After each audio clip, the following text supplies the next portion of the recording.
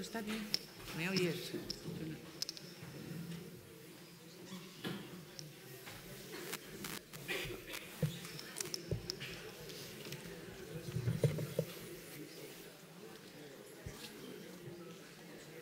Bueno, arratsaldeon, ongi etorri museora eta eskerrik asko etortzeagatik. Hoy asistimos a una nueva sesión de Literactum y tenemos como invitadas a Laura Freisas y María Sunlanda. Eh, Laura Freisas nació en 1958 en Barcelona, aunque vive en Madrid, y además de dos hijos, hijo e hija, tiene una amplísima trayectoria literaria. Desde su primer libro, El asesino en la muñeca en 1988, hasta el más reciente, ha producido... Lo siento, a ver. ¿Ahora?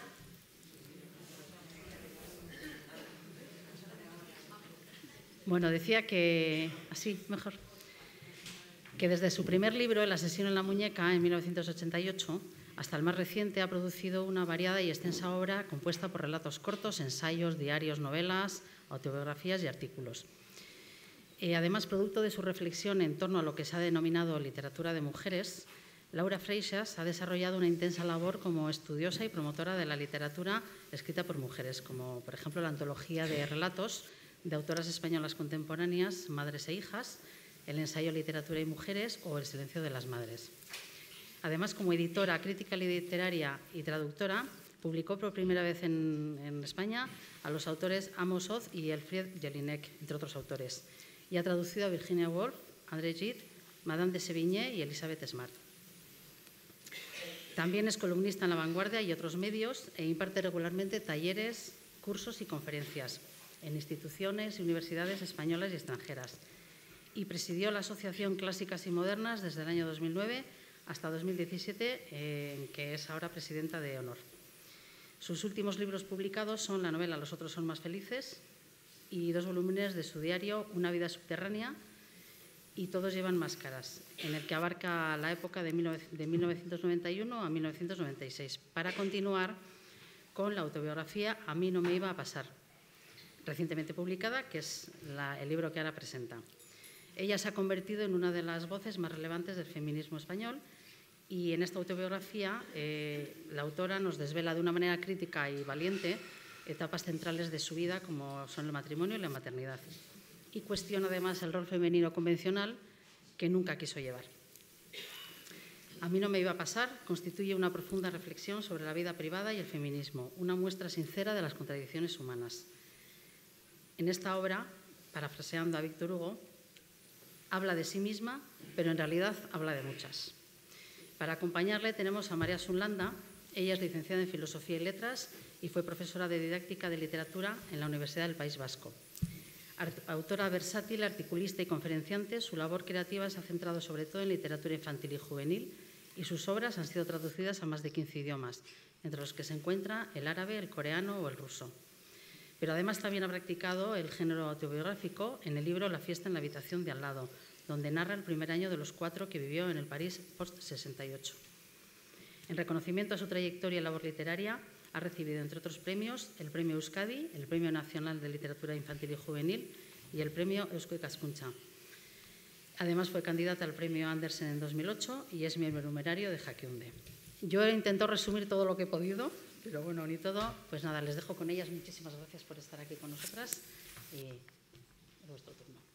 Eskerrik asko Marilis. Eta arratzalde hon eta ongi etorri denoi.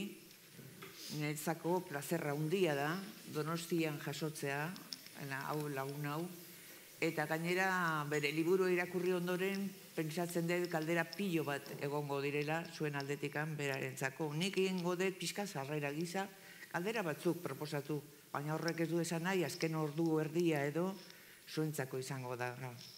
Decía Laura que estoy encantada de que vengas a Donosti, que aparte de amiga eres una autora a la que aprecio mucho, a la que sigo, y de que sí hablaremos nosotras dos, pero que ellos se preparen también a hacerte muchas preguntas, porque a las ocho y media o así les dejaremos hablar, si es que nosotras no nos hemos enrollado demasiado, que yo tengo miedo, ¿eh?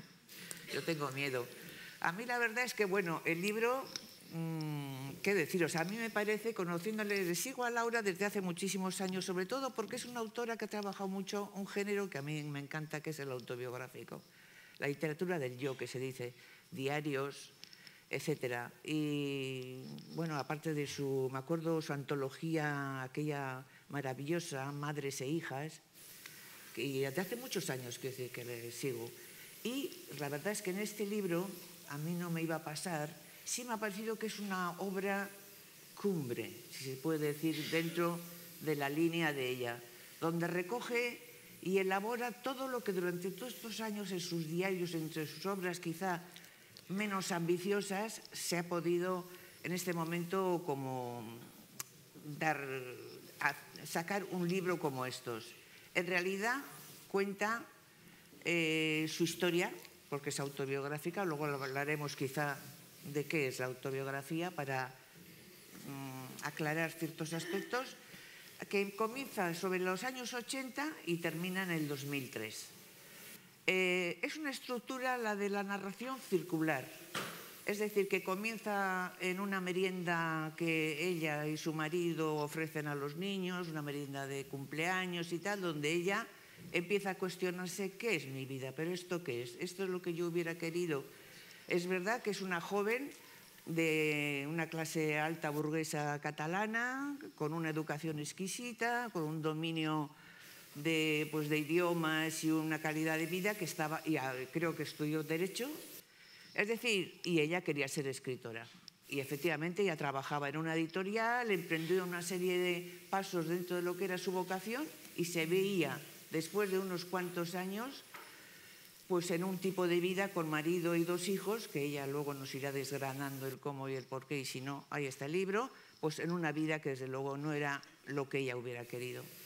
Y entonces ahí comienza desde la constatación en, esa merienda o merendola de niños, empieza a desgranarse una serie de fechas, que es lo que primero te quiero preguntar, cómo las has elegido de todos aquellos años, donde se va viendo cuál ha sido el recorrido de esta protagonista para llegar a ese día en el que, como último capítulo, coge el coche y se va de casa, pero se va a donde unas amigas, donde hay que ir, a donde las amigas, a, contarles, a hablar y en el fondo el libro comienza y termina que después de las amigas ya ha decidido.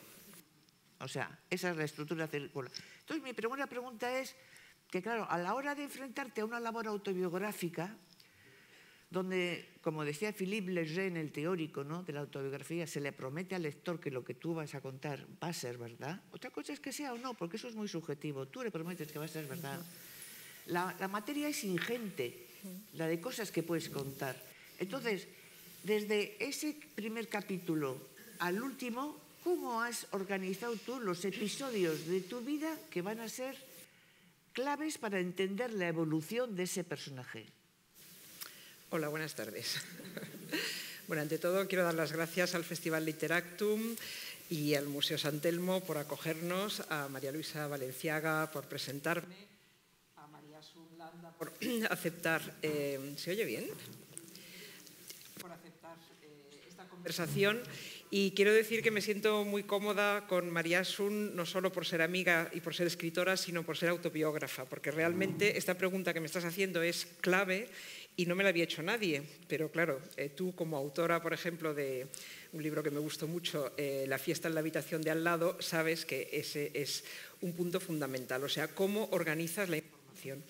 Sobre todo si lo que quieres hacer es una autobiografía, no unas memorias porque unas memorias son un relato con un valor histórico, informativo, donde tienes que seguir un orden cronológico, y en cambio este libro es una autobiografía que es algo mucho más cercano a la novela, donde eliges la información y la organizas según el significado que quieres darle. Y para elegir eh, eh, esos puntos, eh, yo he tenido que hacer un gran esfuerzo que espero que no se note, pero que está, que es como construir el andamio del libro, que es entender, entender mm, qué es lo que me pasó, o sea, contestarme a la pregunta ¿qué hago yo aquí? O sea, ¿cómo me he convertido en esta maruja de chaleado osado cuando, en fin, no, no, era mi intención en absoluto? Y eh, aislar los momentos clave, por ejemplo, la discusión con mi madre, que esto es una, una, escena totalmente autobiográfica, o sea, yo tuve una vez una pelea con mi madre que acabó a gritos y portazos sobre la interpretación de un cuento de Carmen Martín Gaite. Obviamente no estábamos hablando de Carmen Martín Gaite ni del cuento, sino de nosotras, y siempre hemos usado la literatura. O sea, ahora me doy cuenta que la literatura siempre nos ha servido para eso, para hablar de lo que no podíamos hablar directamente de nosotras, en este caso de, de los modelos de mujer o del tipo de vida. Eh, también intenté entender por qué tomé esa decisión trascendental de dejar mi trabajo, mi contrato indefinido, mi puesto en una editorial para seguir a mi marido a París, donde yo no tenía nada que hacer. Eh, y mm, o sea, eh, respondiendo a tu pregunta, hay un proceso de comprensión que me ha requerido mucha reflexión y mucha lectura feminista eh, para aislar esos momentos que fueron como bisagra, que fueron claves y que son los momentos. Luego hay otros que son obvios, por ejemplo, cuando cuento cómo fuimos mi marido y yo a Rusia a adoptar un niño. O sea, esto era evidente que era un capítulo, eh, o el capítulo del parto. Pero luego hay otras cosas que tienes que elegir en un magma eh, vital, tienes que aislar ese momento en que tomaste, bueno, en que metiste la pata o en que tomaste, en fin, tomaste una decisión, buena o mala. Sí. Eh, me refiero también a la vida real. Claro, tú eh, eh, manejaste agendas, manejaste dietarios, no. periódicos de la época, algo que te contextualice. Bueno, Porque hablas, por ejemplo, en el, mm. cuando cuentas lo de la adopción de mm. vuestro hijo en Rusia, que es a mí me ha mm. encantado, la verdad, es lo que más me ha conmovido y convencido, como narración también. Hablas mucho del submarino que en aquellos momentos estaban los del submarino asfixiándose, bueno, el trágico accidente del curso, del curso. Sí. Es decir, ahí hay una contextualización también histórica. ¿Lo, has tenido en cuenta o te has limitado solo a tu vida? Eh, me he limitado a mi vida porque es que mm, cuando yo fui con mi marido a Rusia era el momento en que estaban intentando rescatar a los eh, marinos del submarino Kursk eh, y estaba muy presente y yo lo recuerdo como algo que contribuía, o sea, creaba un clima angustioso que reflejaba muy bien la angustia que nosotros estábamos viviendo, o sea, que yo recordaba perfectamente. Luego sí que he tenido que buscar, pues no sé, hago una alusión a que Putin estaba en su villa de veraneo en Sochi, eso lo he tenido que buscar. Pero lo fundamental, o sea, he buscado detalles, no es eso sería más bien para unas memorias, ¿no? Intentar, por ejemplo, en las primeras versiones decía el nombre de la editorial y el nombre de los mm, personajes en la editorial y luego lo sustituí por el número uno, el número dos y el ah, número tres. Sí, sí, sí. Yo me quedé con ganas de saber. ¿eh? Luego te lo digo. claro, es que quien anda, quien juega con la autobiografía, mm. en mi caso, os diré, pero te comentaba antes también a ti, eh, pues eso, como yo en aquella época, es justo un año y era jovencita, tenía como dos perspectivas amorosas, ¿no? Mm. Y no se resuelven, no se dicen, pero es que la gente muy, con mucha enjundia y con mucha esto, con toda seguridad me solía preguntar con quién me quedé. Y claro, te quedas, Dios mío, después de tanto trabajo, que es lo que comentábamos antes, que supone un libro autobiográfico de amasar la vida real y la vida soñada. Mm, mm. Porque claro, no somos solo vida real, sino también somos la que hemos soñado todo eso que a la gente luego se queda como yo ahora me he quedado. ¿Y quiénes serían? Porque hace muy bien cuenta las reuniones que hay en una editorial en Barcelona, donde una empieza, ¿qué editorial será? ¿Será esta editorial? ¿Será este? ¿Será el otro? Pues yo, a mí me has dejado que luego me tienes que decir. Luego te lo digo. Pero lo, importante es que es un tipo de situación que yo creo que se se puede reconocer y que se da en otros ámbitos, ¿no? donde eh, eso me lo han dicho pues, otras mujeres, ¿no? Eh, me sentí igual pues, en otro tipo de empresa, pero me sentí igual porque yo entré allí queriendo ser reconocida como una igual, como una colega, y la mirada que me encontraba no era una mirada de aquí está una colega, una interlocutora, sino aquí hay una chica y esto se lee de distintas maneras, ¿no? las mismas actitudes, unas paternalistas y que como que haces gracia, otras pues un poco como que eres una competidora, otras etcétera. ¿no? Y eh, también quité los nombres eh, para eh, hacerlo más universal, ¿no? para que nadie se quedara pensando, pues está contando la historia de la editorial tal, sino está contando una historia que pasa mucho. Sí, por supuesto, lo decía un poco en broma. ¿eh? Yo a mí lo que a mí no me podía pasar, quiere decir que realmente tú eras una jovencita ya con, con conciencia feminista, con una educación, con unas perspectivas laborales, con una familia que, en fin, nunca te imaginabas que ibas a ser, que ibas a ser discriminada y que tú misma te ibas a autosabotear. Eso es lo que más me ha costado entender y para mí lo más importante de este libro no es que yo cuente la discriminación, porque eso en realidad lo sabemos todas y se habla mucho de ello, sino que incido en un aspecto que yo creo que el feminismo mmm, trabaja poco, que es nuestra propia eh, complicidad. Eh, Sartre decía, estuve a punto de ponerlo entre las citas que pongo al principio, que todos somos víctimas y cómplices, y me parece una frase brillante, ¿no? Somos víctimas y eso lo sabemos, pero es que además somos cómplices. Y a mí me interesaba mucho entender por qué somos cómplices, en qué consiste, o sea, por qué caemos en eso que la Boesí llamaba la servidumbre voluntaria, o sea, por qué aceptamos, eh, incluso buscamos una situación en la cual objetivamente vamos a acabar eh, pues con la en una situación de dependencia económica, por ejemplo. ¿no? Y eso es lo que a mí más me ha costado entender. ¿no? O sea, mm, ¿por qué me fui a París? ¿Por qué dejé mi trabajo en una editorial con un sueldo y tal y me fui a París? Eh, bueno, pues eso, hacer simplemente de pareja, también a escribir, pero eso era un poco secundario, ¿no? Sí, yo sí, has cogido al vuelo lo que yo tenía apuntado también, porque es, había apuntado lo mismo a mí, eh, a mí no me iba a pasar, lo, no sé por qué razones se me entremezclaba con una frase almodovariana totalmente, ¿qué he hecho yo para merecer esto? Es una tontería, pero le hago caso yo a las cosas cuando son un poco inconscientes, pero te entran. Entonces veía claramente que ¿qué he hecho yo para merecer esto? La película de moda es la victimización total. Y en cambio, en tu afirmación había la complicidad. Sí, sí. O sea, eh, víctima y cómplice que has dicho de los existencialistas. Es decir, ¿hasta qué punto somos cómplices? Y además de la ideología, yo creo, si no nos hubiera el patriarcado... Es, mm, eh, vivido, o sea, existido hasta ahora. ¿Ha habido una complicidad de las mujeres? Ha habido o inconsciente? Y, la, hay. Y la hay, y la hay. Eh, eso yo creo que se aprende mucho con el psicoanálisis, ¿no? Por eso también he puesto una frase de un psicoanalista, de Lacan, que dice, eh, ¿qué, qué hecho ¿cuál es tu contribución al desorden del que te quejas? Porque yo creo que mm, yo me he psicoanalizado muchos años y, y, yo llegué al diván, como supongo que todo el mundo, quejándome mucho. Eh, de todo lo que me hacían y de todo lo que me pasaba. Y la, claro, la pregunta del psicoanalista o la psicoanalista siempre es, bueno, ¿y, usted qué? ¿no? O sea, ¿cómo ha reaccionado eh, asumir tu propia responsabilidad y, entenderla? Sí, sí, sí, estoy completamente de acuerdo. Otra cosa que me ha, que me ha chocado, o sea, chocar sin más, eh, a través del libro, como el, el, protagonismo del dinero.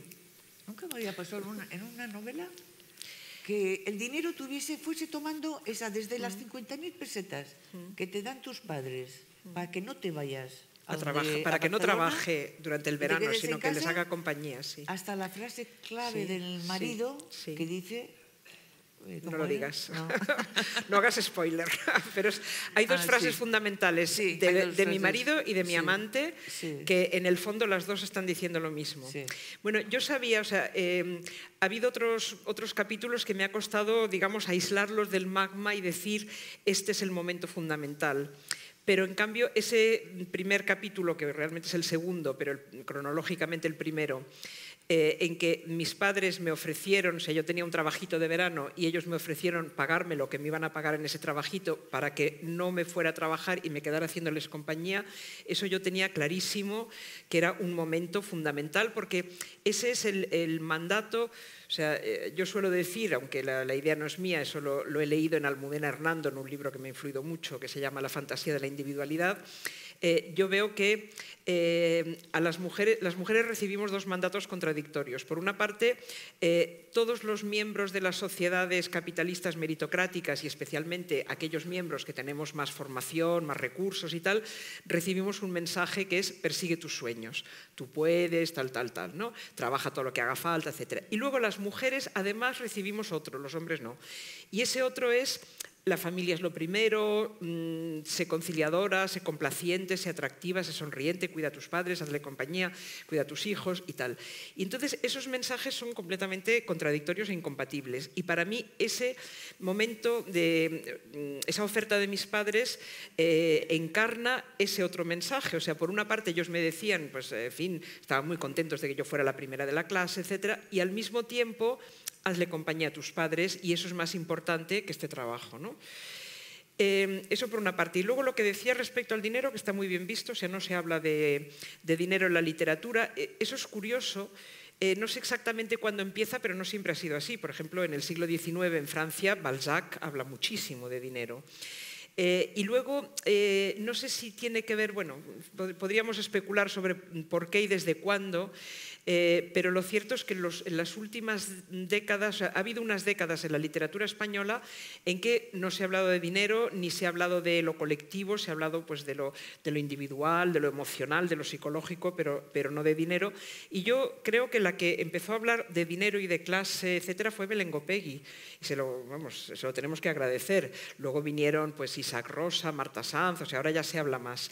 Pero vamos, el dinero, a mí me parece hipócrita no hablar de dinero. Entre otras cosas, hipócrita, eh, sobre todo para quienes somos, pertenecemos a una clase privilegiada y tenemos privilegios mm, eh, como la ayuda, o sea, la posibilidad de que nuestra familia nos ayude, etcétera. Y no hablar de dinero es ocultar eso, ¿no? Sí, sí, Entonces yo tenía muy claro que, quería hablar de dinero, porque además, bueno, yo creo que es importante para todo el mundo y en mi caso lo fue mucho porque eh, tenía ese estatus de las mujeres de clase alta que viven muy bien, que todo el mundo les dice que son unas privilegiadas y tienen mucha suerte y que qué bien, y que qué bien viven y qué tal, y sentimos, o sea, yo sentía entonces un malestar que no sabía muy bien definir, o sea, yo no sabía contestar a quienes me decían, pero si vives estupendamente. Y, al final encontré esa frase que la repito en la novela, eh, que dice, tenía todas las ventajas del dinero, excepto la fundamental, la autonomía. Y era eso, ¿no? Sí, pasa que, si, como tú bien mm. sabes, Virginia Woolf, sí. la habitación propia y las 500, y las 500 libras, de renta. Sí. Claro, creo que quizás nos creímos que con tener la independencia económica mm. X, mm. cada una sabe que iba a ser suficiente. Resulta que no. Que es que la sociedad te pide, si hoy en día además yo creo que pide a la mujer que trabaje. Espera de ella que trabaje, que se gane su dinerito, pero es que le sigue pidiendo todo lo demás. Que sea madre, que sea hija, claro. los cuidados, que todo aquello que ha sido atribuible a la condición femenina. O sea, las 500 libras de Virginia Woolf nos ha quedado un poquito, por supuesto que sí, pero además... Es lo que te decía de los dos mandatos eh, contradictorios, ¿no? Se nos pide todo. Entonces, ante eh, la imposibilidad de hacerlo todo, eh, yo me refugié en lo que creo que fue un poco, pues no sé, una, una mentira que me decía a mí misma, que es que yo era escritora que es verdad que era escritora, pero al mismo tiempo yo, ante todo, era ama de casa y madre. O sea, que yo había resuelto, entre comillas, el dilema abandonando mi trabajo en la editorial, que era el que de verdad me daba autonomía económica, y dedicándome, pues bueno, por la mañana era escritora y por la tarde era ama de casa. ¿no? Em, ¿por qué? Y mi marido me decía, pero, o sea, me venía a decir, pero si no, no, trabajas, no haces gran cosa, o no haces nada, o tienes mucho tiempo libre. Y yo también ahí sentía que, que había algo que eso no era verdad, pero no sabía exactamente por qué. Y también me costó mucho elaborar ese concepto de la disponibilidad. O sea, yo era responsable y necesitaba estar disponible para eh, lo que le pasara a la casa y a los niños. Y por lo tanto, pues, por ejemplo, no podía hacer cosas que, he hecho luego cuando me he divorciado, como eh, irme a Estados Unidos a dar clases, porque yo tenía que estar allí. O sea, a lo mejor no tenía muchas cosas que hacer materialmente a lo largo del día, pero tenía que estar completamente disponible para eso y, bueno, encontré el símil con los bomberos. Eh, los bomberos no cobran por trabajar, o sea, no pasan 40 horas por semana apagando incendios, porque afortunadamente no hay incendios como para eso, pero se les paga para que estén disponibles 40 horas por semana. Y eso era mi trabajo, o sea, yo tenía que estar disponible para dejarlo todo si el niño estaba enfermo, si había un escape de agua, si lo que fuera. Y, y eso eh, necesitas entenderlo, elaborarlo, para poder argumentar, porque si no tu marido te dice, no, es que tú pues, casi no trabajas, ¿de qué te quejas? Y tú te sientes muy mal, pero no sabes exactamente cómo contestar. ¿no? Sí, sí. Eh, eh, tocamos el tema de la maternidad, porque claro, es inevitable. Yo creo que decir que quizá una situación de matrimonial, de pareja, de amantes, de lo que sea, eh, puede ser más mm, gestionable que ya cuando entran hijos por medio, ¿no? Ya todo lo que estamos diciendo ya deja de cuestionarse porque ya hay unos hijos, una responsabilidad, todo esto, ¿no? A mí me ha resultado muy interesante como ella en su libro menciona algo que es evidente que la poca literatura que hay sobre la maternidad. Ella también quiere recurrir a los libros, porque somos mujeres librescas, eh, para se ha quedado embarazada de forma muy costosa además, quizá si tú quieres puedes eh, ahondar en que también una para quedarse embarazada a veces tiene, le cuesta mucho y mucha energía de, y mucho tratamiento. Eh, quiere encontrar lecturas, quiere encontrar dónde eh, nutrirse, orientarse y no encuentra. Y me ha recordado que, lo que una vez le escuché a Carmen Martín Gaite, como ella se reía en Madame Bovary, eh, pues que Flaubert realmente a Madame Bovary le puso una criatura entre los brazos, pero vamos, aquello era como muñeco horrible, que era lo único malo que tenía toda la novela, que no sabía Flaubert ni que era un bebé. Y que estaba muy mal escrito respecto al bebé. Sí, me, acuerdo, yo también se lo leí a Carmen Martín Gaite. y yo creo que lo dijo también en una, conferencia, y es así, ¿no? Pero fíjate, eh, una cosa como la maternidad universal y eterna, ¿cómo no tiene o de hecho, las mujeres también, ¿o dónde hemos estado? ¿Qué, qué opinas? Bueno, para de mí la fue como la experiencia tuya y todo lo que ha llevado a, formar parte de todo ese mundo del que luego tú has querido. Yo fue en ese momento cuando descubrí lo que luego ha sido pues, uno de mis grandes temas de investigación y caballo de batalla, que es que eh, la literatura y la cultura en general es el reflejo de las experiencias masculinas, eh, básicamente. Em, de las experiencias masculinas como, la, guerra, la lucha por el poder, los viajes, las conquistas, etc., y de las experiencias compartidas como eh, el amor heterosexual o el, sexo, las relaciones hombre-mujer. Pero luego, toda la parte de la vida de las mujeres que no compartimos con los hombres, que es mucha, Em, o que compartimos, pero vamos, que básicamente son vivencias propias, no, no, está. Y yo que toda la vida, hasta ese momento, porque vengo de una familia, una madre sobre todo muy lectora, y yo era muy lectora, y siempre, siempre había leído sobre todo lo que, aquello que vivía, ¿no? O sea, pues yo quería ser escritora y tenía a mi disposición una gran literatura sobre personajes que quieren ser escritores, las ilusiones perdidas de Balzac, eh, la búsqueda del tiempo perdido de Proust, lo del retrato del artista adolescente de Joyce, etcétera, etcétera. Eh, antes de ir a París había leído muchas novelas que pasaban en París, etcétera. O sea, siempre había un diálogo entre lo vivido y lo leído y eso me parecía lo más normal. Y entonces, como cuento en el libro, me quedé embarazada y entonces busqué las grandes novelas sobre el embarazo. Y no encontré nada y, es lo que cuento y eh, para mí ha sido pues es una, experiencia fundamental. Eh, luego eh, tuve una hija y empecé a pensar en las relaciones madre-hija, que siempre son muy complicadas, que lo habían sido con mi madre, que me preocupaba cómo lo serían con mi hija. Y también empecé a buscar y ahí una amiga me regaló un libro en inglés, que bueno, era una antología de relatos sobre madres e hijas.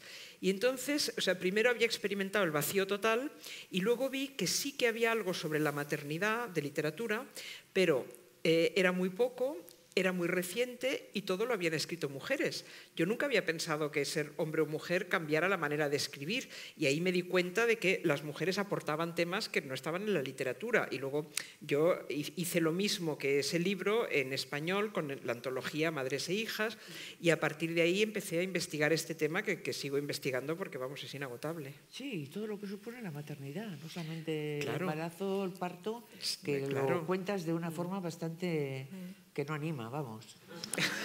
No anima a parir, quiero decir. A parir no. Pero, a parir no. La maternidad sí, la maternidad sí, pero, pero luego hay otro aspecto que es la relación con el bebé que para mí fue un descubrimiento. O sea, a mí aquello me encantó mm, bueno, o sea, era, era maravilloso. Luego es un rollo, pero al principio es maravilloso. Y, era como un deslumbramiento. Y también me sorprendió mucho que nadie me lo hubiera contado en la literatura, ¿no? que no, estuviera en la literatura. Y luego el capítulo del parto me costó mucho encontrar el tono, eh, explicar por qué yo había elegido un parto, digamos, medicalizado y convencional y no un parto natural, pero al mismo tiempo que eso no fuera una especie de lección magistral, sino y contarlo con humor. Con humor, pero aquí hay un matiz. Yo veo que Em, eh, cuando hay libros sobre la experiencia de, o sea, cuando las mujeres escriben libros o hacen obras de teatro, que además ahora he visto una, ya os diré cuál, em, que es un ejemplo de esto, sobre la experiencia de las mujeres, muchas veces le dan un tono que a mí me irrita un poco, que es un tono de humor banal, que yo creo que tiende como a aplacar al patriarcado y decir, bueno, os vamos a contar esto que, en fin, que en realidad pues estamos bastante furiosas y lo estamos pasando bastante mal, pero no os preocupéis que le vamos a dar a todo un tono súper frívolo y va a ser como muy divertido, ¿no? Eh, y no, no, quería caer en esto, o sea, quería ponerle humor e ironía, pero sin trivializarlo y sin rebajarlo. No, yo la verdad lo recuerdo mm. como algo como muy sensato, ¿eh? Sí, sí o sea, nada mm. estridente, mm. solamente una realidad muy normal, en el sentido que la mayoría va a dar a luz a los hospitales y en los hospitales es tratado así. O sea, yo no le di ni que había exageración ni nada y sencillamente también pensando en tu marido y en la paternidad, eh, me hizo pensar que quizás los jóvenes hoy en día enfocan ya de otra forma el parto o la lactancia, que colaboran más con todo el proceso ese del que hasta ahora se habían quedado excluidos ¿Eres escéptica? Yo soy un poco escéptica, sí, porque, a ver, eh, justamente hoy en La Vanguardia, que tengo una columna quincenal, escrito sobre el discurso de Rivera, el discurso de dimisión de Rivera. Eh, él explica, pues bueno, por qué dimite y tal, tal, tal. Eh, el discurso dura 16 minutos y en el minuto 11 con 25 dice que ahora va a ser un mejor padre y va a pasar más fines de semana con su hija y dice o da a entender que, bueno, que él está dejando la política por esto. Y dices, hombre, quizá también tendrá algo que ver los 47 diputados que ha perdido y tal. Eh, y acabo diciendo, estamos hartas de estos padres que se toman la paternidad como un hobby de fin de semana cuando a ellos les va bien y eh, cuando les va mal, o sea, si yo fuera su hija estaría furiosa. O sea, cuando yo te he necesitado, tú no estabas ahí porque estabas ocupadísimo con otras cosas y ahora que te va mal las otras cosas, vienes aquí a decir, hola, mira, aquí estoy a hacer de padre, mira. En fin, ¿no? Bueno, el caso que has puesto, sí. pero, es que es, pero es muy habitual, yo creo, ¿no? O sea, esa actitud de, bueno, sí, cambio pañales y lo llevo al niño en una cosa de esas que no sé cómo se llama, y los políticos y me hago fotos, o las políticas, eh, pero mm, hay realmente una asunción de responsabilidad que además es que es para toda la vida lo de ser. O sea, tengo la impresión de que esto es como la igualdad, las parejas igualitarias, que son igualitarias hasta que a él le ascienden o hasta que se cruza por medio la secretaria o hasta tal y entonces ya dejan de serlo, ¿no? Sí, sí, estoy de acuerdo. Estaba pensando realmente a dónde, como mujeres, mm. pensando ya en una clase favorecida, como mm. puede ser eh, generaciones de nuestro estilo, más jóvenes, pero de nuestro estilo, con educación, con profesión, qué nos espera, cómo conciliar el mundo de la proyección personal con, con, la maternidad, en fin, con todo este mundo al que no se quiere renunciar, o quizás sí, qué nos espera unas mujeres mm, emigrantes con contratos impresentables y unos vientres de alquiler para que nosotras sigamos, nosotras digo las que vienen, sigamos liberadas ejerciendo nuestras profesiones y siendo escritoras. Sí, eso sería el porvenir de tu eh, hija, por ejemplo. Ya, espero que no, eh, pero eh, desde luego hay tendencias y corrientes en ese sentido. ¿no? El llamado feminismo liberal muchas veces significa eso, significa em, que las mujeres privilegiadas por su clase social, por su formación, etcétera, em, aspiran a compartir hasta el punto que puedan, pero sin cuestionarlos, los privilegios de los hombres de su clase a base de explotar a, mujeres pobres y mujeres racializadas. Eh, yo, de hecho, en, este sentido he cambiado de, opinión porque eh, yo hace muchos años, o sea, yo siempre he sido feminista, pero eh, yo hace muchos años pensaba, primero, que mm, el, trabajo que ahora se llama, cuando yo era joven esto no, existía esta palabra, el trabajo de cuidados, el trabajo doméstico y de cuidados, yo pensaba que se podía delegar, o sea, que se resolvía con dinero porque se podía delegar y que Mm, cuando se delega se convierte en un trabajo como cualquiera. ¿no? O sea, que, es discriminatorio eh, el que lo tenga que hacer eh, la mujer eh, gratis, supuestamente por amor. Y he cambiado, o sea, he cuestionado mi opinión en los dos mm, aspectos. ¿no? Por una parte, lo de delegar es muy fácil, muy bonito y muy realizable cuando lo que delegas es la plancha. O sea, sí, se puede pagar a alguien para que planche, pero ¿Vas a pagar a alguien para que se entreviste con el psicólogo de tu hijo, por ejemplo? Pues evidentemente no. Y claro, estas cosas son muchas, muy importantes, eh, ocupan mucho tiempo, te exigen una disponibilidad y unas energías, etc. O sea que se puede delegar la parte más mecánica del trabajo de la ama de casa y, madre, pero no se puede delegar lo fundamental, y lo fundamental es mucho. Eso por una parte. Y luego, por otra parte, yo pensaba eso, que si eh, ese trabajo se convierte en un trabajo y asalariado, eh, pues es un trabajo como cualquiera y por lo tanto ha desaparecido la discriminación. Y no es verdad eso, lo, me di cuenta leyendo un artículo de Beatriz Jimeno que bueno, abordaba este tema y decía, este trabajo está absolutamente infrapagado, por más que hagas contratos, pagues la seguridad social, etcétera, eh, y está infrapagado porque lo hacen mujeres y mujeres racializadas. De hecho, hace poco leí un, artículo cuyo titular me hizo mucha gracia, pero era verdad. Decía, mm, pagamos más o pagamos mejor a quienes cuidan nuestros coches que a quienes cuidan nuestros hijos. ¿Y por qué? Bueno, pues porque quienes cuidan nuestros hijos son mujeres latinoamericanas. Entonces, eh, eso me ha hecho pensar que eh, realmente la responsabilidad familiar, o sea, el trabajo puramente doméstico, pues se puede bueno, resolver de muchas maneras. Incluso no sé por qué no se ha vuelto a hablar de lo que se intentó en la Unión Soviética o se hizo, que eran pues lavanderías y comedores colectivos, etc. Pero el trabajo fundamental, que es el de cuidados, que es más responsabilidad que trabajo, eso lo tenemos que compartir y los hombres tienen que asumir su parte. Antes quizá he sido un poco dura, quizá sí que hay hombres que la asumen. Que, mencionabas antes la disponibilidad también. Sí. Es decir, esos trabajos que suponen estar disponible y que no son evaluables, no es la plancha. No, no es la plancha, es que eso sea tu prioridad y que renuncies a un ascenso o renuncies a un trabajo, etcétera, para estar disponible. Y lo injusto es que esto lo hagan las mujeres y no los hombres, ¿no? O sea, yo creo que em, habría que compartirlo, compartirlo ¿no? habría que compartirlo mucho más. Tengo gente que, que piensa que si una mujer trabaja con su cabeza, eh, ¿por qué no va a trabajar con su vientre? Por Dios. Ya, yo también. Estoy completamente en contra de la subrogación de... Mm, es que tú... Pero la verdad es que eh, te quedas a veces cuando te dicen eh, razonamientos de ese tipo, te quedas paralizada, ¿no? Bueno, en los vientres de alquiler yo, yo no puedo soportar eso. Yo moriré y seguiré pensando que una mujer no es una fábrica ni es una máquina que hace hijitos. O sea, pero de hecho vamos hacia ahí, ¿no? Vamos hacia un mundo donde ya no hay tanto, ya no hay tanto menor mm. eh, este, mm. adoptable, adoptable y hay mucho más vientre de alquiler. A ver, los famosos, em, que yo creo que hacen mm. tanto daño, dicho sea de paso. Sí, em, bueno, esto se puede abordar, es un tema además, eh, en fin, del que yo soy bastante activista.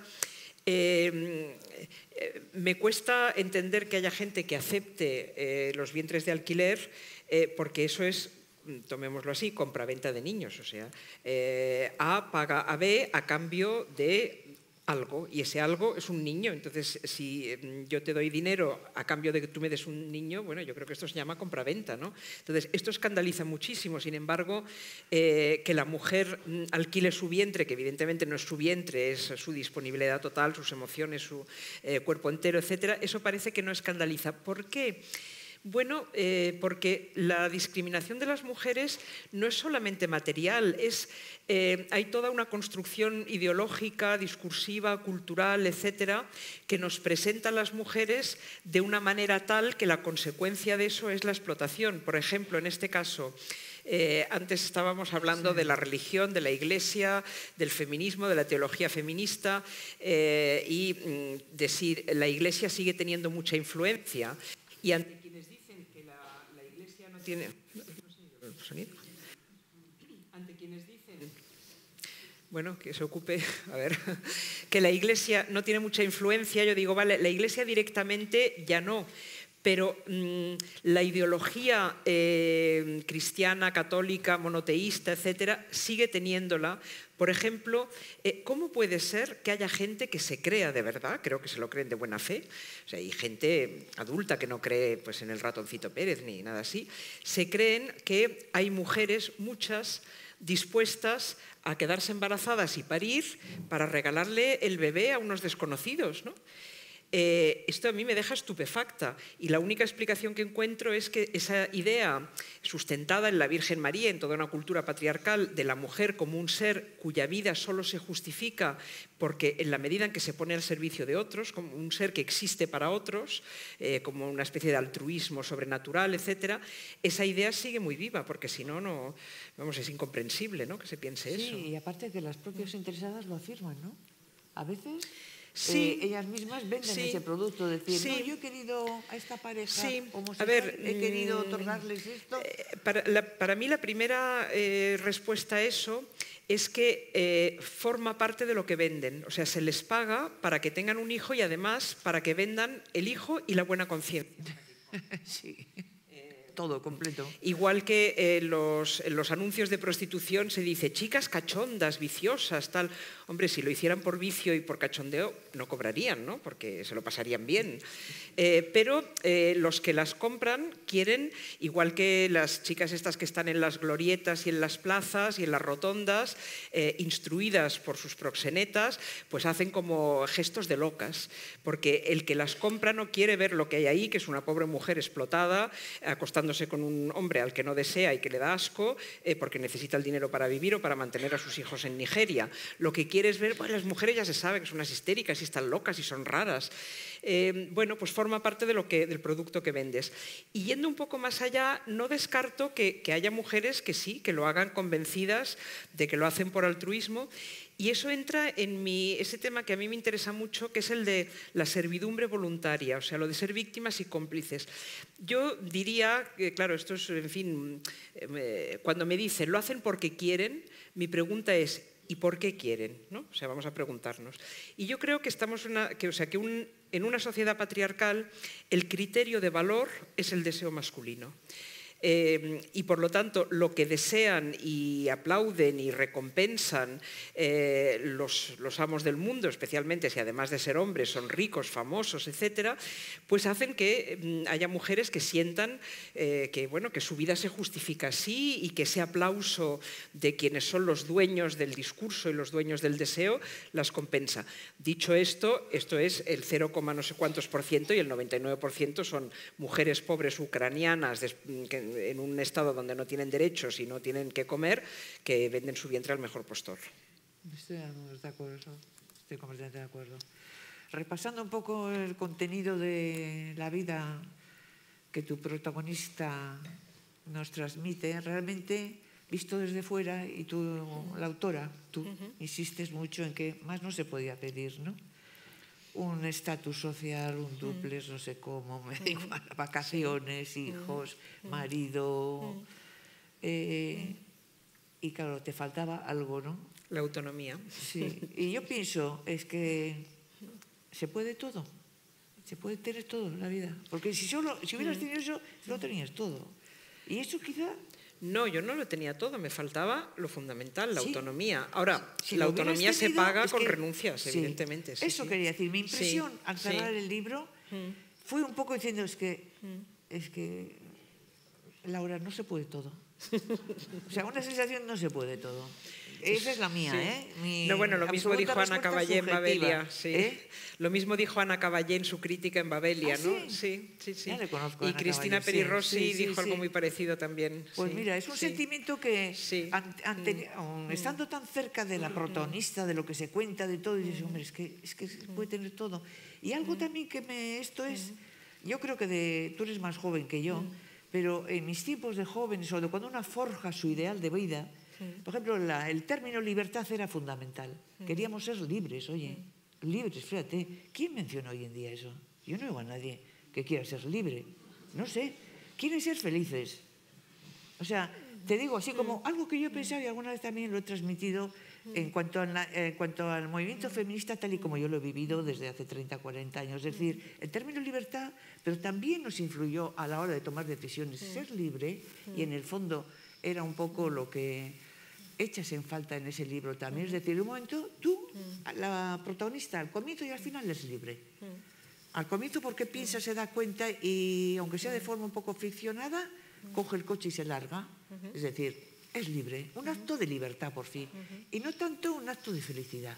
O sea, porque yo no sé por qué todos estos años ha habido, ya el término libre no se estila, no oigo al menos, o se supone que ya son las mujeres libres, lo cual no pienso así. Eh, Pero se ha sustituido por la felicidad. Claro, la felicidad entendida por todos esos, por tu novela destila felicidad como una foto. Tú insistes mucho en el duplex de Arturo Soria, se llama la calle, ¿verdad? Porque vivía a su Marzola los últimos años. Por eso Arturo Soria lo reconocido. Eh, los viajes, los niños, la... todo qué bien, qué bien, claro, pero falta libertad, ¿no? Sí, yo creo que La libertad o el puñetazo sobre, el puñetazo sobre la mesa, que supone ser libre. Es decir, os mando a todos a tomar viento. Bueno, no los mandas, eso es como lo del Brexit, ¿no? Van a seguir negociando durante 20 años lo- la relación con Irlanda y tal, no es nada fácil. Pero eh, quizá, digamos que yo pasé de un ideal de felicidad que era como una felicidad estándar, ¿no? que lo digo en un momento, o sea, eh, en esa casa tan maravillosa mm, que supuestamente que teníamos eh, y en esa vida, ¿qué faltaba? Y digo, faltábamos nosotros, o sea, faltaba nuestra implicación, faltaba el preguntarte, también hay otro momento en que digo, ¿qué es felicidad? ¿Felicidad es lo que todo el mundo cree que es felicidad? ¿O felicidad es lo que tú crees que es felicidad? Y eso es un, proceso largo, ¿no? El darte cuenta de que de cuál es tu deseo, de que tu deseo no es, lo que todo el mundo te ha dicho, y en mi caso además eh, eso tenía nombre y apellido, que era mi padre, ¿no? que me decía, sí, sí, está muy bien esto de escribir y publicar, y bueno, sí, sí, no, está bien esta novela, pero mm, ¿cuánto te han pagado? Eh, y, y cuánto has vendido? Y ¿solo has vendido esto? Ostras, pues oye, y si con la siguiente también vendes lo mismo, ¿qué? ¿No? O sea, yo tenía que estar luchando constantemente contra esa especie de ideal estándar social eh, y, y descubrir qué era lo que quería yo. Porque mm, la libertad, eh, contrariamente a lo que creen los liberales y, en fin, de todo este discurso que hay de la libertad, la libertad no se ejerce en el vacío, pero no solo no se ejerce en el vacío eh, económico, profesional, etcétera, que eso lo entendemos todos. Es muy fácil entender que no tienes libertad si no tienes para llegar a fin de mes, mm, o que no tienes libertad si eh, los horarios de los colegios eh, son tres horas más cortos que los horarios laborales. Entonces, si tienes hijos, pues algo tienes que hacer con ellos, etcétera. Pero es que además la libertad interior tampoco se ejerce en el vacío, se ejerce eh, en el contexto de unos discursos que están ahí de, unas, eh, de un imaginario que está ahí. O sea, no tenemos la cabeza vacía, tenemos la cabeza llena de, todas es, de todos esos discursos, que es una cosa que, que, aparece en mi libro a través del conflicto de voces internas. ¿no? O sea, yo estoy pensando una cosa y estoy pensando que voy a ser una gran profesional y que no sé qué, y luego tengo una vocecita dentro que me dice, pues eh, serás la mujercita dorada de tu marido. Eh, es decir, un discurso totalmente que, que yo no asumo, pero que está ahí y que en el fondo pues me lo creo, ¿no? o que me influye de alguna manera, como me influyen eh, en, ese capítulo fundamental, me influye el ejemplo de Pilar Miró versus Isabel Preisler. Que, yo creo que sí, que, que, no lo reconocemos porque son discursos como muy despreciados, o sea, ¿quién va a reconocer que sabe quién es Isabel Preisler? Bueno, pues, en fin, todas las que vamos a la peluquería lo sabemos. Y de hecho, aunque no lo digamos, está ahí, ese ideal de una mujer que es felicísima porque los hombres la desean y los hombres la quieren y los hombres se casan eh, con ella y entonces la recompensan y además es bella y es etcétera, etcétera. ¿no? Y yo creo que eso, eh, pues bueno, no, nos gusta reconocerlo, pero en el inconsciente nos influye. ¿no? Sí, sí, sí. Hombre, es verdad también lo que has dicho del Brexit, mm. me, me recuerda a la sensación que tuve también al terminar el libro, dije, ahora empieza otra novela. Claro, sí. Pero esa no la voy a escribir porque esa... No, porque eh, cuando me preguntan cómo he podido escribir una cosa donde me desnudo tanto, pues hay varias respuestas, pero una de ellas es eh, a la que desnudo es a la que yo era antes de ese corte en mi vida que es pues, mi divorcio, mi cambio de vida, mi nueva pareja, etcétera, etcétera. Si escribiera lo que viene después, ya sería como hablar de mí ahora, hablar de mis hijos no adultos, pero en fin, cuando ya eran un poco mayores, eso pues a ellos no les gustaría. O sea, ahí sí que preservo mi intimidad. Mi vida actual es mi intimidad, pero esa vida me resulta tan ajena, ¿no? O sea, yo fui esa, con, con mechas y con tacones y tal, es que no me reconozco para nada.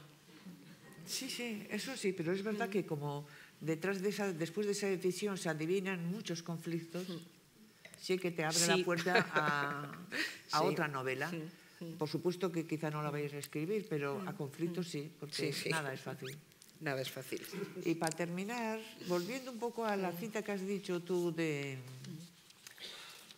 eh, Jesús, el autor que has citado. ¿La de Víctor Hugo? Sí. Pero la de Víctor Hugo me refiero un poco a hacer el elogio en general de este género literario que a las dos nos gusta, que es lo autobiográfico, la literatura del yo. Es decir, eh, porque cuántas veces nos habrán dicho, te habrán dicho a ti también, uy, si yo te contara mi vida, ¿eh? ¿qué novela escribirías? Digo, pues hazlo. hazlo, ya verás qué difícil es. Dificilísimo, porque, ¿eh?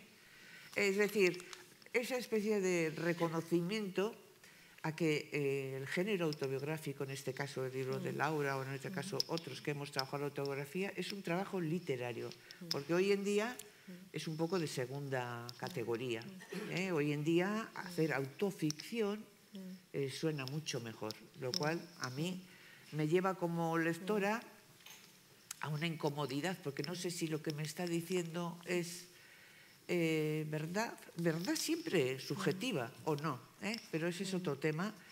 Eh, pero sí que quería mencionarte a una cita también que a mí me sirve mucho para justificar por qué uno tiene que andar contando su vida. Porque al fin y al cabo, ¿cuántos pensarán, Laura, de ti? Pero está, ¿por qué tiene que contar su vida? ¿No?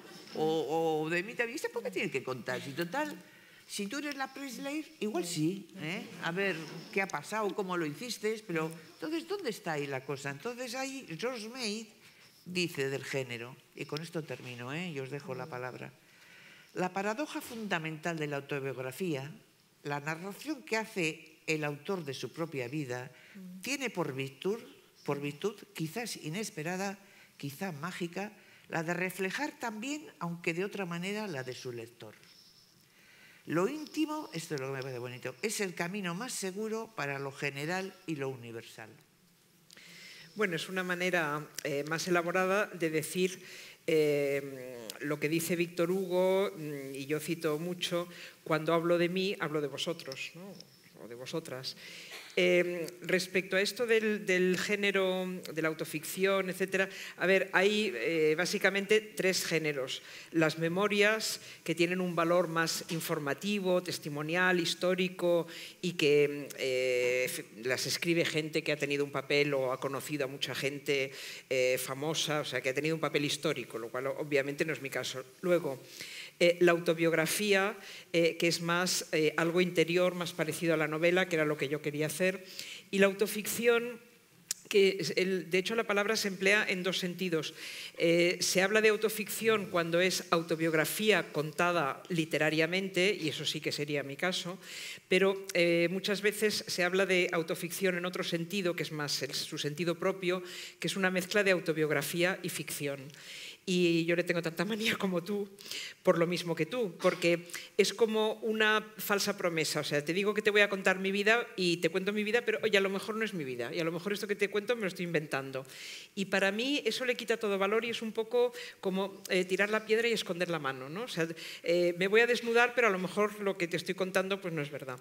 Y mm, simplemente para terminar, quiero decir que eh, para mí este libro es una culminación de muchas cosas y entre otras eh, yo me he dado cuenta de que lo que a mí me interesaba hacer literariamente eran dos cosas que las dos están desvalorizadas, desprestigiadas y son como sospechosas, que es literatura de mujeres en el sentido de contar experiencias eh, de mujeres eh, y autobiografía. Entonces, las dos cosas me han requerido todo un trabajo como de reflexión. Por ejemplo, no solo me he leído los libros de Philippe Lejeune, sino que he ido, mm, cuando estaba en París, he ido a entrevistar a Philippe Lejeune porque necesitaba que él, o sea, que una autoridad me certificara que el género autobiográfico era un género valioso. Y ahora sí que podemos dar la palabra al público. Eh, bueno, orain zuei tokatzen zaizue txanda, gu oso pozik egongo gera, ba, pixka batez ere berari egiten baldin badi dizkio zue galdera batzuk, está abierta, ya, la plaza. Espero que esté hablando bien de mí, porque no entiendo una palabra. Sí, no, les digo que pueden empezar a hablar, a preguntar lo que quieran y que hay un micrófono por ahí. Pero ahora ya te dejo sola para que respondas al público. ¿eh? Yo me retiro.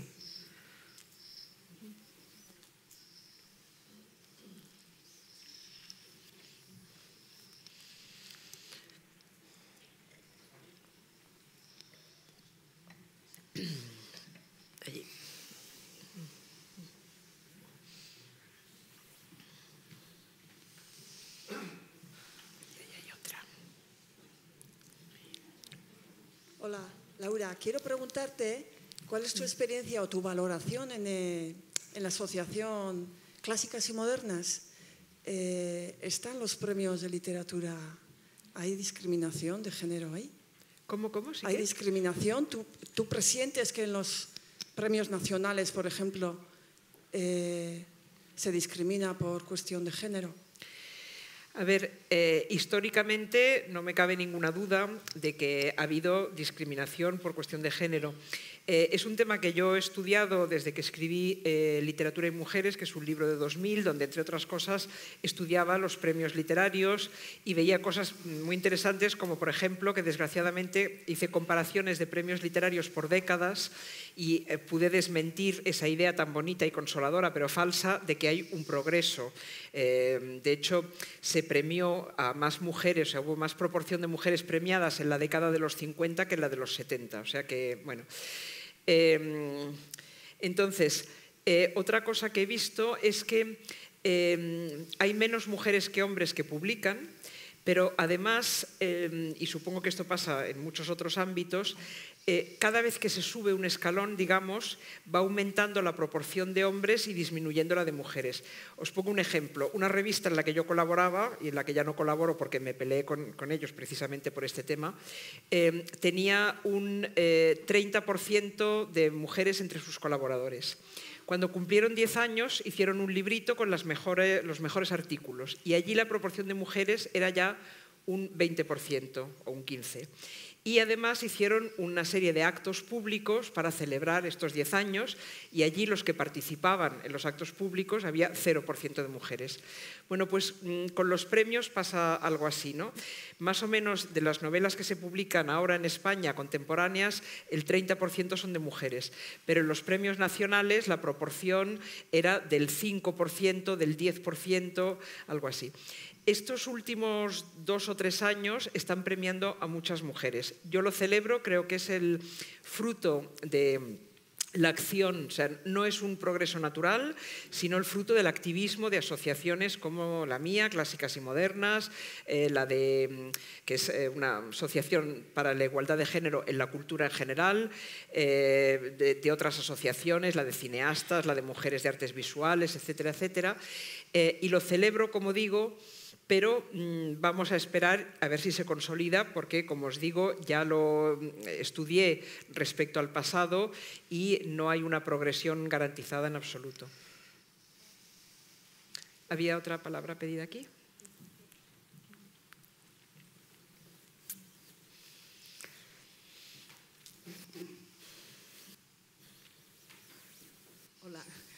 Eh, ¿Por qué crees que hay tanto rechazo a hablar de la literatura de mujeres y a no aceptar ese punto de vista? Por una razón muy evidente. Todo lo femenino está desvalorizado. Entonces, asociar cualquier cosa con mujeres eh, lo desvaloriza del mismo modo que cuando una profesión se feminiza, bajan los sueldos. Eh, es una de las cosas contra las que hay que luchar. Es decir, que eh, yo creo que sí que existe una literatura mm, escrita por mujeres con características propias. Básicamente, la característica fundamental es que eh, los personajes femeninos y las historias de mujeres están, y las experiencias de las mujeres están mucho más presentes. Pasa lo mismo en el cine, por otra parte.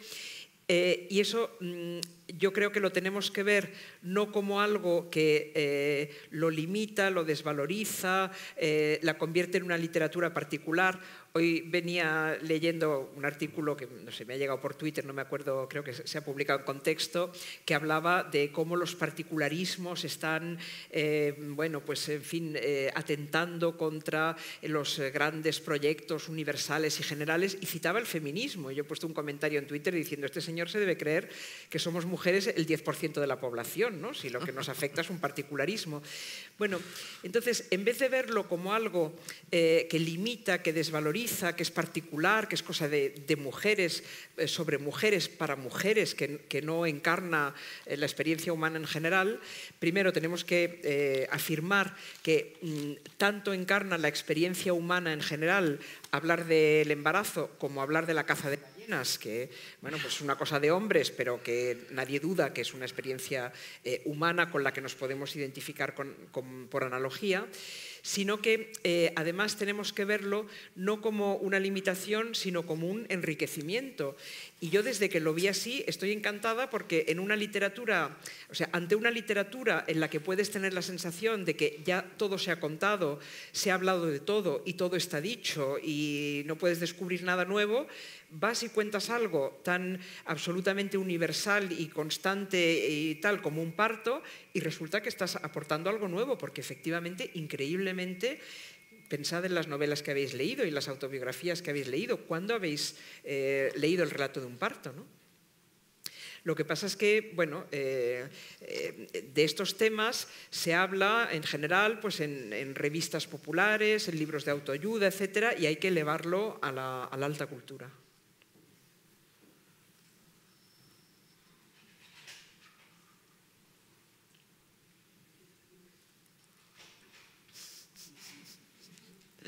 ¿Nadie más?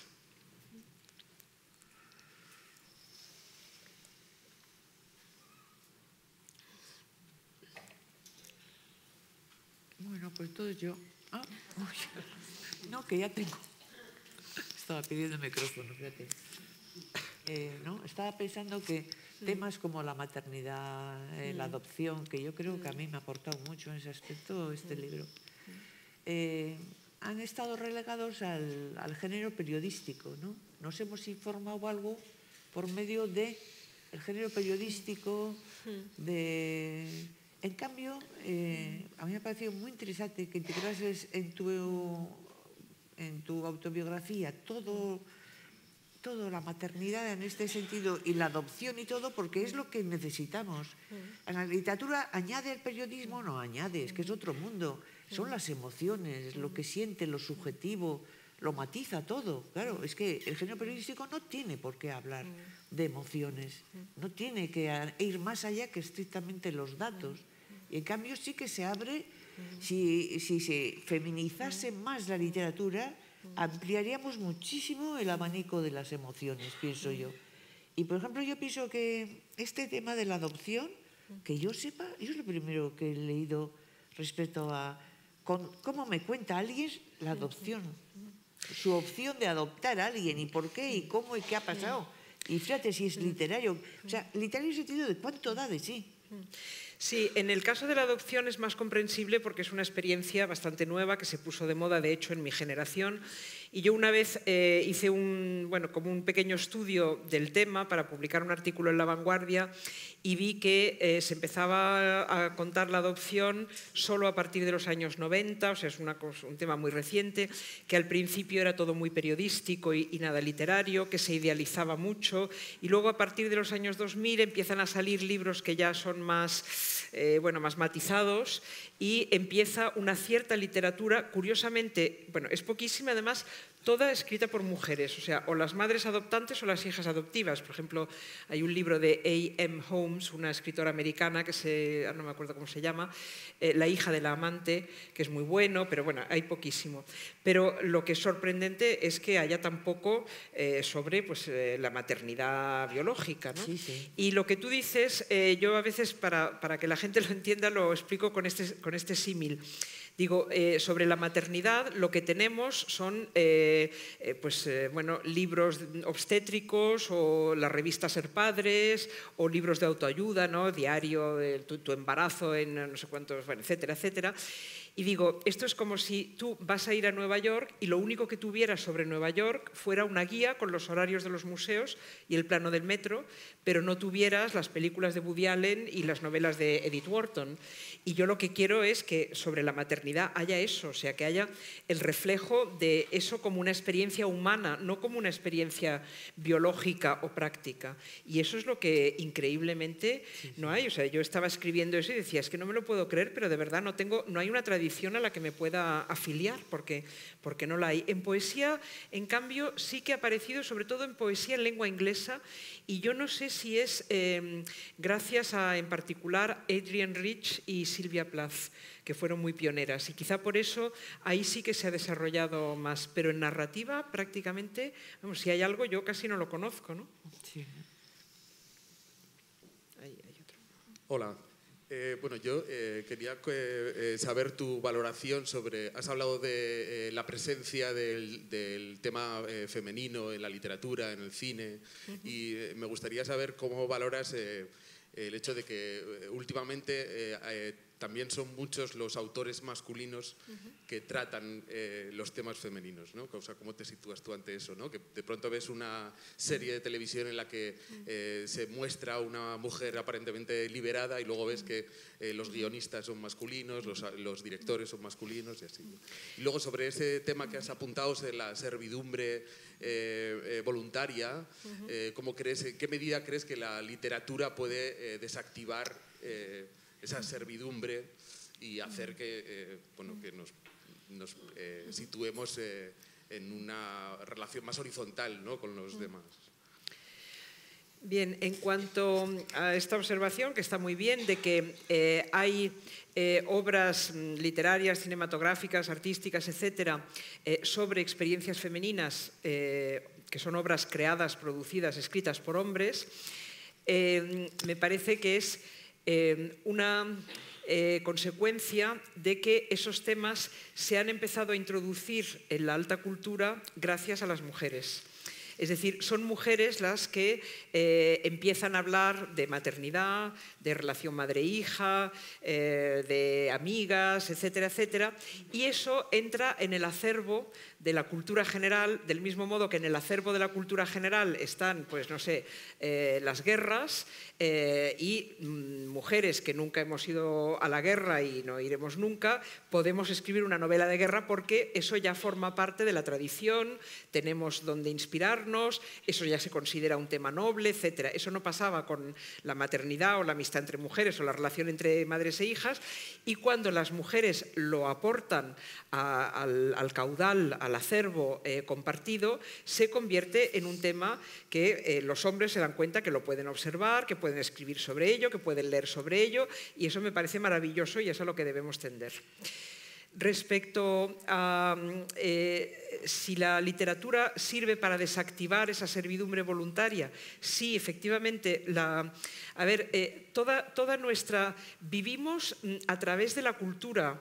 Eh, no sé si era Lagos Foucault el que decía nadie se enamoraría si no hubiera leído poemas de amor o escuchado mm, canciones de amor, etcétera. Bueno, pues una manera, en fin, muy gráfica de decir que nuestros sentimientos, la interpretación de lo que vivimos, los conceptos con los que vivimos, las historias que imitamos inconscientemente, los deseos que tenemos, eh, nos vienen a través de la cultura. Eh, por ejemplo, eh, el deseo sexual se, suele creer que es algo innato y que la sociedad solamente lo reprime, pero la sociedad lo dirige, lo fomenta. Me hizo mucha gracia, por ejemplo, leer en este libro precioso de Tanizaki que se llamaba Elogio de las sombras, lo atractiva, él cuenta lo atractiva que era su madre y era muy atractiva, entre otras cosas, porque se había eh, pintado, porque se pintaba los labios de verde y los dientes de negro, y eso la hacía súper atractiva, claro. Eh, eso es como, eh, ahora nos parecen atractivas las mujeres delgadas y en cambio en otros momentos de la historia o en, otros, en otras latitudes lo atractivo son las mujeres con curvas y rollizas. Entonces, mm, la cultura modela, a lo mejor no al 100%, pero en gran parte, nuestros deseos y esos deseos nos pueden llevar a la servidumbre voluntaria o nos pueden llevar eh, eh, a, una vida, a una vida más libre. Y sea lo que sea, eso va a pasar por la cultura en un sentido muy amplio que incluye la ideología política, la religión, eh, las películas que vemos y las canciones que escuchamos. Hola, yo quería plantear una cuestión en torno a la maternidad. Yo soy madre y me parece que hoy por hoy es una de las cosas que solo podemos ser las mujeres y que en ese sentido es un arma muy potente. Y me parece importantísimo que al acervo universal se, integre todas las experiencias en torno a la maternidad y todo esto. Pero tengo la sensación de que ha habido un, un boom de las escritoras de hablar de maternidad. Y a veces me parece que puede ser un arma de doble filo porque históricamente a las mujeres se nos ha prácticamente limitado a la maternidad, lo de ser mujer y madre ha sido sinónimo o siempre que aparecíamos o había alguna loa en torno a las mujeres era por madre y siempre ha existido esa asociación. Y entonces a veces me suele parecer que igual refuerza esa... No sé si me entiendes. Sí, sí, perfectamente. Mm.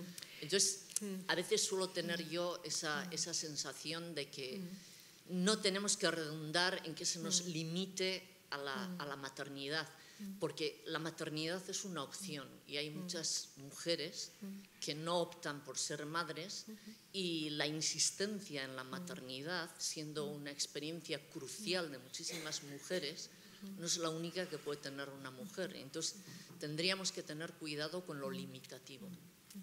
Sí, eh, está muy bien visto y efectivamente ese es un dilema que tenemos siempre las mujeres. O sea, o reivindicamos lo que se considera, ya luego ya veríamos por qué se considera, pero en fin, en este caso es obvio, eh, lo propio de mujeres, pero eso está desvalorizado y por lo tanto nos desvalorizamos y, eh, digamos, nos encerramos en ese rol tradicional, o eh, intentando abandonar ese rol tradicional y desvalorizador, hacemos algo que se asocia a los hombres y entonces em, muchas veces somos vistas como un poco como impostoras eh, y como que estamos negando nuestra verdadera naturaleza, etc.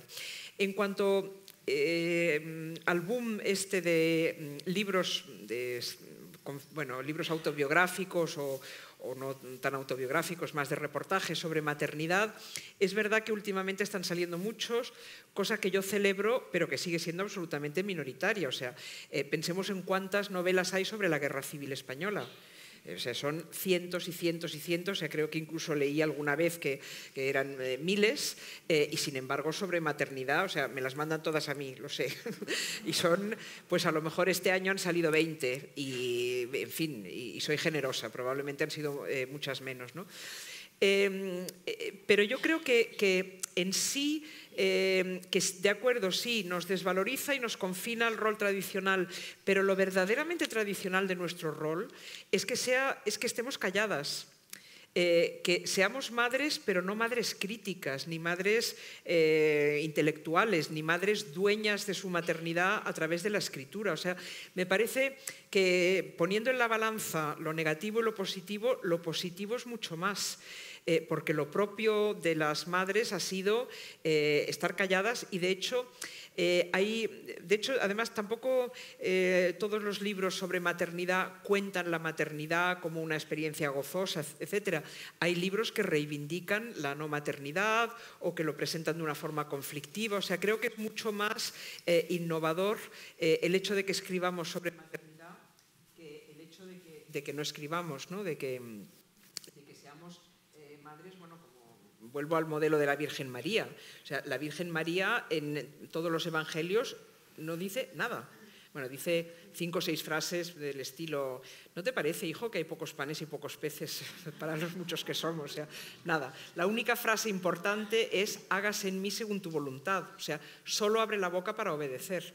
Entonces, que seamos capaces de decidir, de reflexionar y de narrar, eso es una gran cosa, es una gran novedad.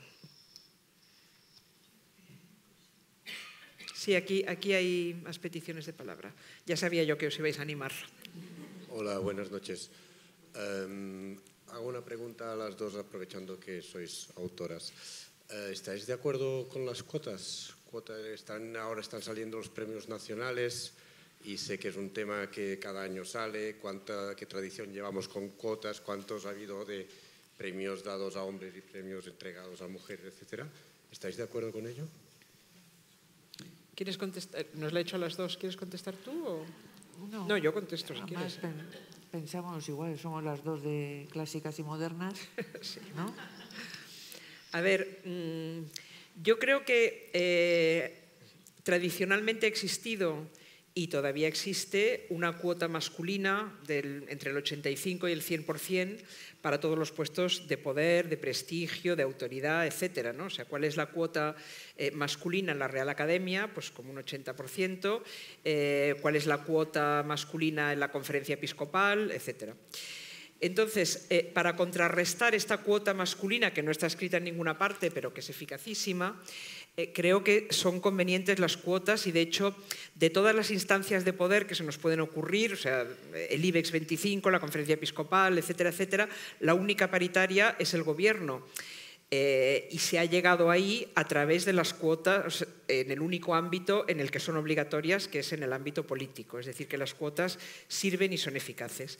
Por supuesto, en un tema, eh, en algo tan subjetivo e indemostrable como es la calidad artística, eh, no vamos a poner cuotas en cuanto a, los, premios que deben darse, pero sí en el jurado. Y además, eh, y esto lo recoge la ley de igualdad, y nosotras en Clásicas y Modernas hemos peleado porque se aplique, o sea, que el jurado sea paritario, porque cuando a mí me hablan de calidad, yo siempre lo primero que pregunto es, ¿calidad a juicio de quién? porque como la calidad no es una ciencia exacta, eh, se aprecia subjetivamente y no es indiferente quien sea el sujeto que la aprecia. Y luego también en los premios nacionales eh, hay o debería haber uno una, normalmente una especialista en género, que es la que puede detectar todos los sesgos como el considerar que una novela cuyos protagonistas eh, son hombres es per se más universal que una novela cuyos protagonistas sean mujeres. Eh, sesgos de esto que son discriminaciones indirectas, que no se plantean como directamente apartamos a las mujeres, sino no apartamos a las mujeres, pero hay temas que son eh, más nobles que otros, pues hace falta una persona que sepa de esto para detectarlos. Yo estoy de acuerdo. Has expresado estupendamente, Laura. Además, yo diría que comprendo esa reticencia, ese rintintín, ¿no? Respecto a las cuotas, porque como si... No. Además, luego yo en política, por ejemplo, que al principio también éramos un poco reticentes, ¿eh? ha resultado un arma eficaz. Porque en política al menos se ha visto el resurgir y el surgir de cantidad de mujeres políticas que, como a todas, lo único que podemos pedir es el aura mediocritas, por lo menos. Es decir, todas ser como como los hombres, no tienen por qué ser excelentes, fueras de serie, batir los récords, no, no. Ahora mediocretas para todos. Creo que había más peticiones de palabra por aquí. Eh, hola Laura, encantada de verte de nuevo por aquí. Nada, introducir una palabra que es que no la he oído, que es la soltería. Casado, soltero, soltera. Si se divorcia una, a lo mejor es ya soltera, si tiene hijos o no tiene hijos. A ver, ¿dónde metes todo este estatus de la soltería? ¿Dónde meto la soltería? En la reflexión, claro, en esta reflexión que estás haciendo. Eh, a ver, mm,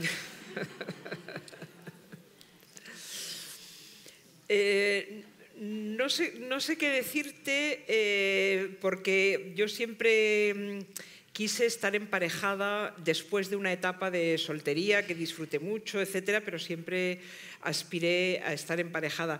Eh, es verdad que en una sociedad eh, individualista como la sociedad en la que estamos, eh, parece mucho más lógico que la gente esté soltera. A mí me parece que, mm, bueno, que es una, un poco una pena, pero es, son gustos personales. No sé, a mí me gusta vivir en pareja. No sé si he contestado la pregunta, porque no sé muy bien cuál era la pregunta, ¿no? No, eh, no es directamente una pregunta, pero habéis hablado de ficción, de autoficción, de biografía, autobiografía. Bueno, y María Schun, eh, María Schun te preguntaba, eh, al principio te decía qué coraje, ¿no? Un poco esto, ¿no? Escribir tan abiertamente sobre tu, tu, propia vivencia. Estaba pensando mucho en una escritora francesa, Annie Ernaux, eh, que ha escrito, y además ella lo, lo reivindica, toda, todos sus escritos autobiográficos. ¿eh? lo podemos decir así, ¿no? Sí. Y, y, y, por ejemplo, no sobre maternidad, pero hay uno sobre el, el, el aborto. El aborto. El acontecimiento. Que es, es toda Excelente. la novela sobre esto, que es tremendo. ¿no? Y entonces, eh, es esto, ¿no? Y entonces me decía, eh, tú te sitúas siempre como la esfera alta a nivel societal, ¿no? Y ella, eh, bueno, viene de un medio muy, muy obrero, además habla mucho también de su padre, su madre, la plaza y todo esto, y es como un encuentro, ¿no? A nivel de escritura. Me, esto, estaba mucho con Annie Ernaux, que, que me gusta mucho, que he leído absolutamente todo y que como algo, ¿no? Yo soy una fan de Annie Ernaux. Hace muchísimos años que hablo de ella y veía que aquí en España pues, no terminaba de cuajar, a ver si ahora con el premio Formentor eh, se la conoce más. Eh, a mí me ha inspirado muchísimo, me encanta eh, toda su obra es. Ella dice que lo que hace es antropología de sí misma. Y eh, yo diría que está muy presente en, en, mi obra y en particular en este libro. Por, mm, o sea, este libro mío le debe mucho a un libro de Denis Ernaux que es La mujer helada. Eh, que es un libro que yo siempre he pensado que eh, nace de que ella, es como si ella se hubiera preguntado. Simone de Beauvoir dice que la mujer no nace sino que se hace. ¿Cómo me hice mujer? O sea, ¿cómo me convertí en, en una mujer convencional? Y lo va contando. O sea, es un libro, es una autobiografía con perspectiva de género, este libro suyo.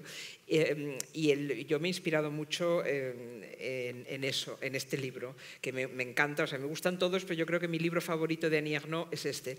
Y también en otra cosa, y es que eh, Annie Ernaux hay un momento en que hace una cosa. Ella publica un libro que se llama, eh, en francés, Passion Simple, y en español se tradujo como Pura Pasión.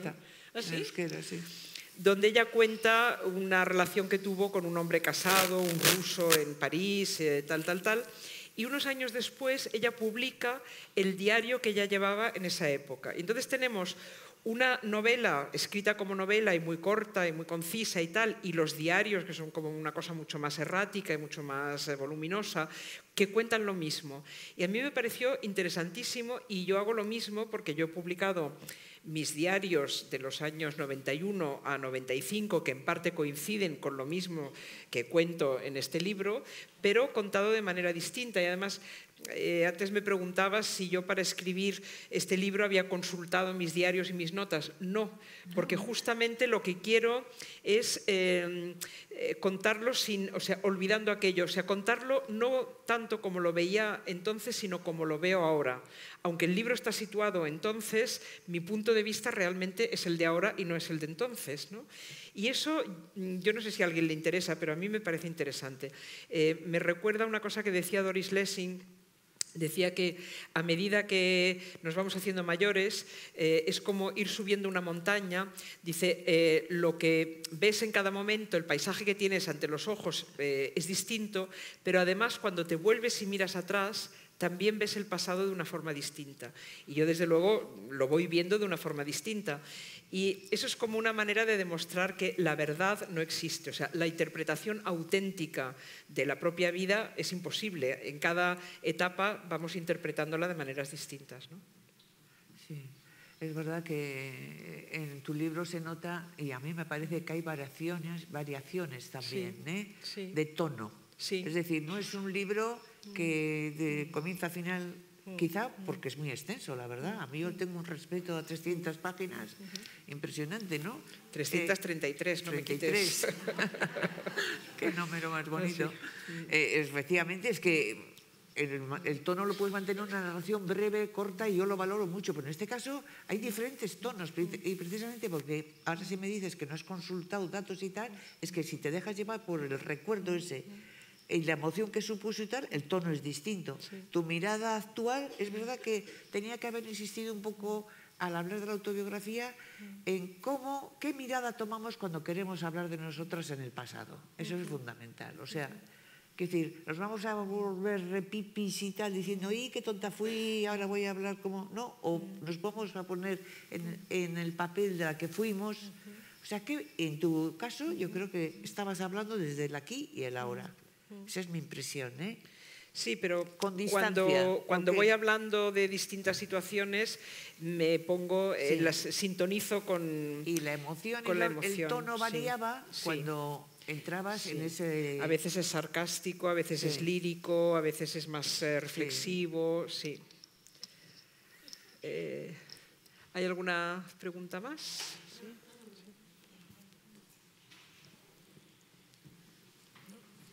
Bueno, pues ya podemos terminar, ¿no?